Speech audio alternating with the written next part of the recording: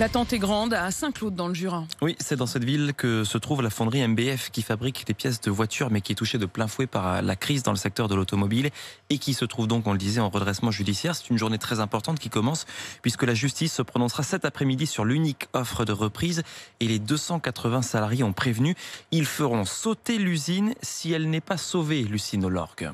À quelques heures du verdict, Anna Isabelle se sent stressée, angoissée, énervée. Elle qui a fait une grève de la faim pour défendre son emploi travaille ici avec son mari sur le moulage des pièces de moteurs hybrides. Elle n'a qu'un souhait. Qui nous sauve, qui nous laisse travailler parce que nous on veut travailler. On a du savoir-faire, on sait faire les choses. Comme elle, Erjan espère que l'unique offre de reprise sera acceptée. Il ne voit pas son avenir ailleurs. Euh, là franchement à 45 ans je sais pas ce que je veux faire quoi. Déjà en 2012 comme j'ai déjà vécu ça, moi j'ai fait quelques formations et tout, euh, ça n'a rien abouti. Donc je suis revenu ici. Pour Naïl Yeltsin, délégué syndical CGT, l'annonce d'une liquidation serait une catastrophe. C'est euh, 300 familles, c'est euh, 1000 personnes, et c'est en direct.